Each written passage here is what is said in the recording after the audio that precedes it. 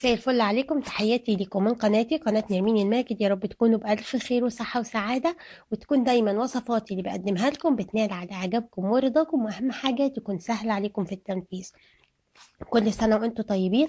خلاص بقى بكرة الفطار. تعالوا النهاردة أوريكم إزاي نعمل الفراخ المشوية بطريقة عالمية. هوريكم النهاردة تتبيلة الفراخ المشوية اللي عمرها ما هتخيب معاكي. هتطلع معاكي الفراخ مشوية وحلوة وطرية وجوسي وفي نفس الوقت مش هتنشف منك. وأهم حاجة من ده كله إنك هتضمني تسوية الفرخة مية في المية. مفيش حتة في الفرخة مش هتبقى مستوية.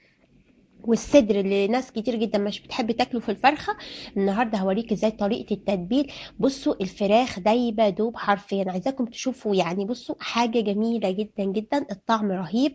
ال ال الفراخ كده طعمها حلو تتبيلتها جميلة جدا. بس لو لسه ما اشتركتوش في القناة أتمنى تدوسوا على كلمة اشتراك تحت الفيديو باللون الأحمر وتفعلوا الجرس على كلمة الكل.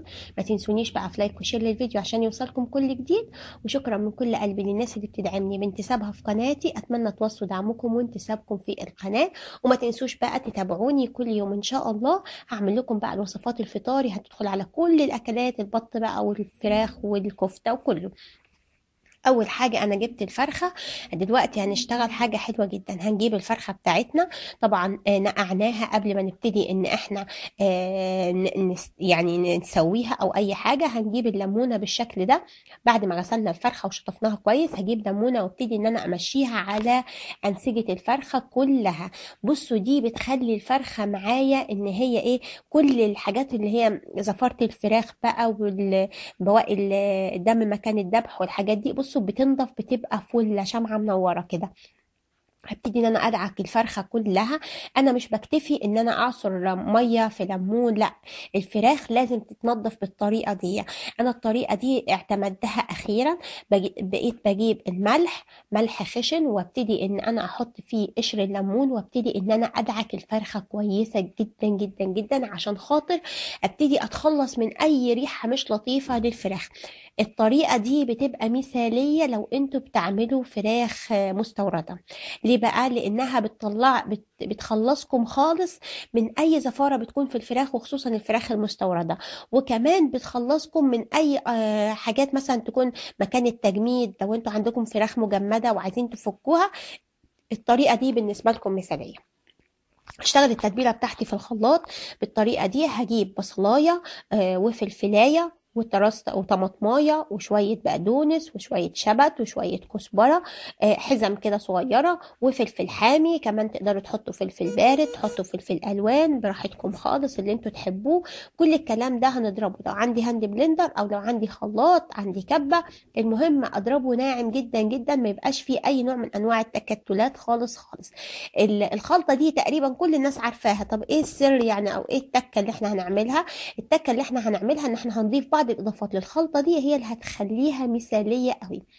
التتبيلة دي يا جماعة حلوة قوي مع كل أنواع الطيور مش بس مع الفراخ. يعني مثلا ممكن تعملوا بيها البط ممكن تعملوا بيها الفراخ ممكن كمان تعملوا بيها اللحمة المشوية.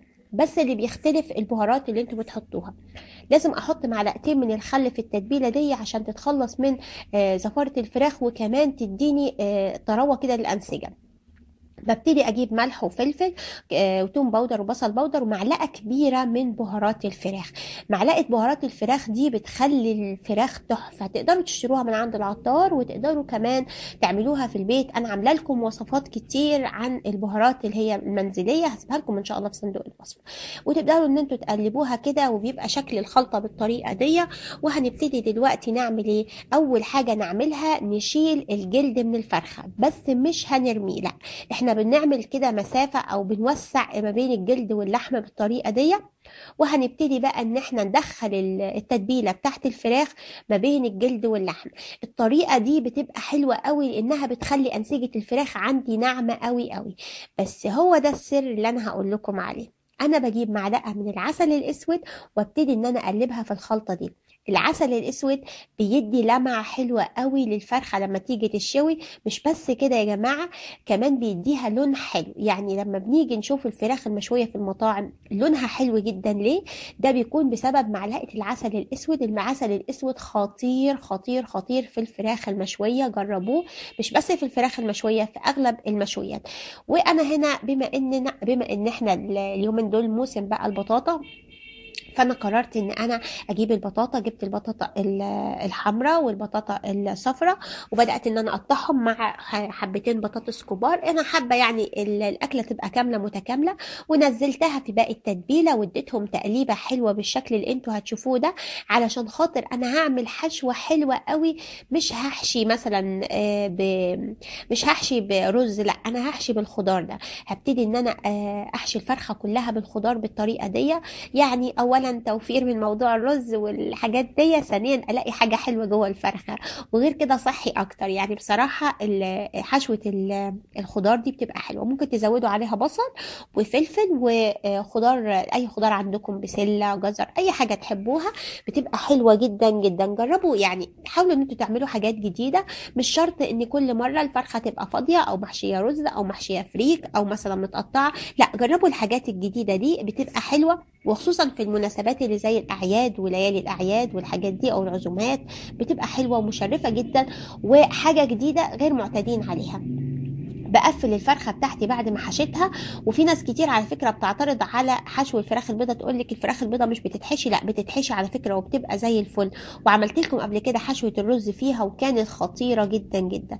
أهم حاجة تكتفوا الفرخة كويس. إحنا مش هنسلقها بس يعني التكتيفة دي بتخلي الفرخة بتاعتي إن هي إيه ما تفكش مني والحشوة عمرها ما تنزل من الفرخة.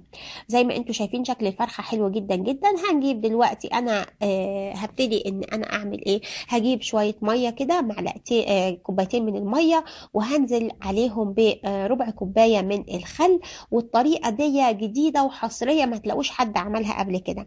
الطريقة دي يا ستي بتضمن لك مليون في المية إن الفرخة بتاعتك عمرها عمرها ما هتطلع نية.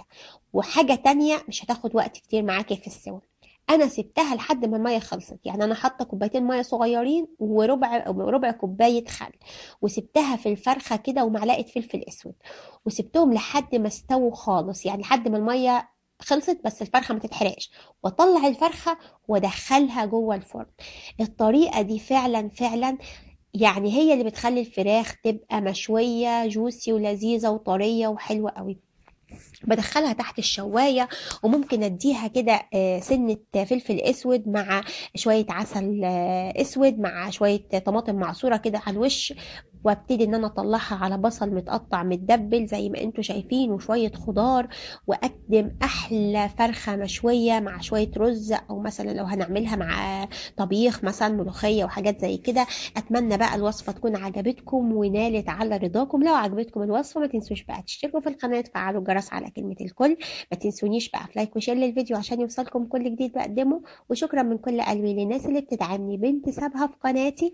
أتمنى تواصلوا دعمكم وانتسابكم في القناة. ما تنسوش تتابعوا باقي الوصفات الفطاري اللي هنزلها الفترة اللي جاية وههتم جدا بالحلويات زي ما تعودنا دايما والمعجنات وكمان بتوع ال diet إن شاء الله. مش ناسياكم ابدا ابدا. تحياتي لكم بألف هنا وشفا. كل سنة وأنتم طيبين وأشوفكم دايما. يا رب على خير. قريب.